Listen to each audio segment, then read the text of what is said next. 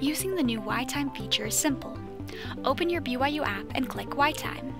If you have not enabled your location services, a prompt will appear asking you to do so. This is necessary to use Y-Time through the BYU app to allow for accurate reporting of punch locations. After enabling location services, you will be able to enter the Y-Time feature. The Y-Time homepage will show your campus job or jobs if you have more than one push the white button to punch in or punch out of any of your campus jobs. To see your timesheet, click View Timesheet at the bottom of your screen.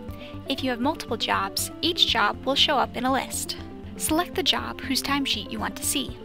If you only have one job, you will be taken directly to the next screen. The calendar that appears will have black dots under the dates that you've worked. Dates that have exceptions will be marked in red. Click on any of these dates to see when you punched in, punched out, and the total hours worked that day. If you've made a mistake while clocking in or out, you can correct it by selecting the day with the exception, tapping in the appropriate box, adding the correct time, and pressing submit.